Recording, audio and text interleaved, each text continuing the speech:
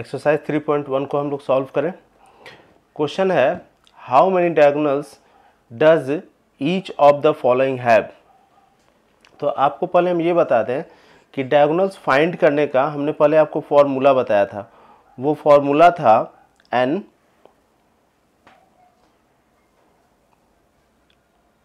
N bracket के अंदर N minus three by two. ये फॉर्मूला आपको याद होगा।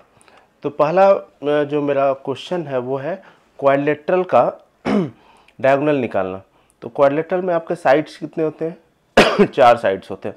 तो एन के जगह हम फोर रखेंगे। तो कितना हो जाएगा? Four bracket under four minus three by two. ठीक है? तो फोर में से थ्री चल जाएगा तो वन बचेगा नहीं four into one by two इसका मतलब हो जाएगा फोर बाई टू इसका मतलब हो जाएगा four sorry four by two two two जा फोर आपका कैंसिल आउट हो जाएगा तो बचेगा कितना डायगोनल टू, यानी क्वेश्चन नंबर वन का मेरा आंसर होगा टू। यानी क्वेश्चन नंबर वन का आंसर जो होगा वो आपका होगा, इसका जो डायगोनल होगा, वो डायगोनल होगा आपका टू। क्वाड्रिलेटरल का जो डायगोनल होगा, वो डायगोनल होगा टू। आंसर हमारा हो गया टू। ठीक है? अब आइए पेंटागन पेंटागन में कितने साइड्स होते हैं? ये आपको पहले पता है पेंटागन में फाइव साइड्स होते हैं।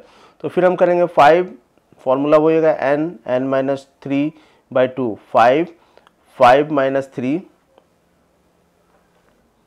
by two फिर इसको जब आप सॉल्व कीजिएगा तो फाइव में से थ्री चल जाएगा तो two five into two five into two by two कितना हो जाएगा? फाइव टू जा टेन टेन बाई टू तो ये हो जाएगा आपका टेन बाई टू इसको काट दीजिएगा टू फाइव या टेन यानी पेंटागन में कुल फाइव डायगोनल होंगे। ठीक है? चलिए, इसके बाद फिर हम देख लें हेक्सागन हेक्सागन में कितना होता है? छः साइड्स होते हैं। तो हेक्सागन में छः साइड होते हैं। क्वेश्चन नंबर थ्री हम लोग देख रहे हैं अभी। अभी हम लोग क्वेश्चन नंबर थ्री देखेंगे। हेक्सागन हेक्सागन में कितना साइड होते हैं? छः फिर हम करेंगे six bracket under six minus three by two. इसको सॉल्व कीजिए। कितना हो जाएगा सिक्स? और हो जाएगा सिक्स में से थ्री जाएगा थ्री बच जाएगा। तो यानी हो जाएगा six into three by two. Two से कट जाएगा, टू थ्री जा सिक्स। यानी टोटल नाइन डायगोनल इसमें होंगे। इसके बाद फिर है ट्रायंगल। इसके बाद हमारा क्वेश्चन डी क्या है? ट्रायंगल ट्रायंगल में कुल कितने डायगोनल होंगे? तो ट्रायंगल में देखिए फिर थ्री हो जाएगा। तो लिखेंगे three three bracket under three minus three by two कितना हो गया? थ्री में से थ्री चल जाएगा ज़ीरो यानी three into zero by two यानी कितना हो जाएगा? ज़ीरो बटा टू तो ये सॉल्व नहीं हो सकता है, इसलिए ट्रायंगल में एक भी डायगोनल नहीं होगा। तो आपको समझ में आ गया? Question number one two one का ए बी सी डी हम लोग सॉल्व कर चुके हैं। Write the name of the regular polygon of जब तीन साइड होगा तो पॉलीगॉन का नाम क्या होगा? तीन साइड में आप जानते हैं, तीन साइड में आप उसको इक्वलेटरी ट्रायंगल कहेंगे। तीनों साइड जब इक्वल होगा उसका तो वो इक्वलेटरी ट्रायंगल कहलाएगा। Question number B. Question number B कहता है आपको कि फोर साइड्स। फोर साइड्स कौन होगा? फोर साइड्स आपका स्क्वायर होगा। स्क्वायर का ही चारों साइड आपका बराबर होता है। जैसे आप जानते हैं, फोर साइड जो होगा वो आपका स्क्वायर होगा।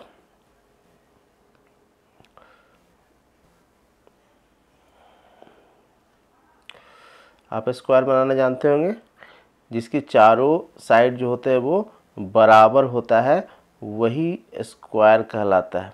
जिसका चारों साइड जो होता है वो बराबर होता है। यानी फोर साइड्स में क्या हो जाएगा आपका? रेगुलर पॉलीगॉन स्क्वायर हो जाएगा। उसके बाद फिर आप एट साइड्स पे आ जाइए। हेड साइड में रेगुलर ऑक्टागॉन कहेंगे। ऑक्टागॉन समझ में आता है? जिसकी आठ साइड्स होते हैं। तो उसको हम लोग रेगुलर ऑक्टागॉन कहेंगे। चलिए। क्वेश्चन नंबर सिक्स पे आ जाए। What is the sum of all angle of hexagon बोले आपको फॉर्मूला बता दें। एंगल निकालने का फॉर्मूला जो है, वो होता है N N minus two N minus two into one hundred eighty degree ये आपको पता होगा एंगल निकालने का फॉर्मूला है आपका। N minus two into one hundred eighty degree तो जो भी साइड रहेगा, आप उस पर बैठाते जाइएगा। हेक्सागोन का छः साइड होता है।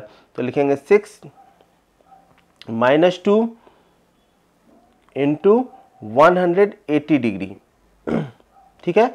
तो कितना हो जाएगा? सिक्स में से टू जाएगा फोर हो जाएगा आपका। Four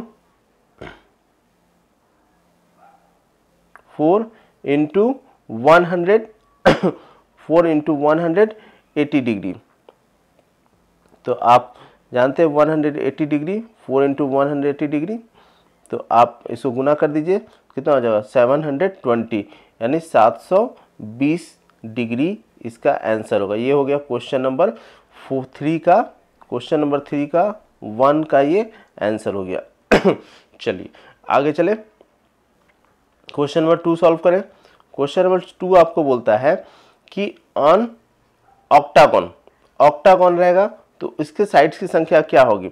ऑक्टागोन होगा, फिर फॉर्मूला लगाएँगे bracket under N minus two into one hundred eighty degree तो ऑक्टागोन है, आठ है तो लिखेंगे eight minus two eight minus two into one hundred eighty degree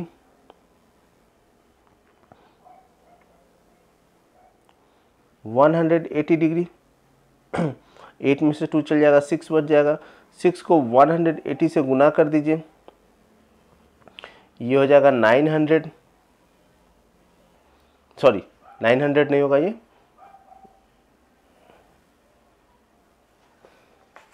अठारह का पहाड़ा पढ़िए। One one zero, eight zero. ये हो जाएगा आपका क्वेश्चन नंबर थ्री का, टू का, थ्री का, बी का आंसर हुआ ये आपका। चलिए, इसके आगे चलते हैं फिर हम लोग। रेगुलर डेकागॉन डेकागॉन में कितना होता है? डेकागॉन में दस साइड होता है। फिर लिखेंगे एन माइनस टू यानी दस में से दो चला जाएगा। ब्रैकेट अंडर लिखेंगे। ब्रैकेट अंडर लिखेंगे। दस ten minus two into one hundred eighty degree one hundred eighty degree तो फिर ये एट हो जाएगा। Eight into one hundred eighty degree जब आप इसको गुना कीजिएगा तो हो जाएगा one one four four zero, one four four zero degree. ये आपका आंसर हो जाएगा क्वेश्चन नंबर थ्री का, सी का। ठीक? चलिए, इससे आगे चलते हैं। अब हम डी देख लेते हैं, जिसका चौदह साइड्स पेलुगन हो। यानी क्वेश्चन नंबर डी हम लोग देख लें। क्वेश्चन नंबर डी जिसका फोर साइड पॉलीगॉन होगा फोर्टीन साइड पॉलीगॉन होगा, तब क्या हो जाएगा? फोर्टीन साइड पॉलीगॉन होगा तो क्या हो जाएगा? Fourteen minus two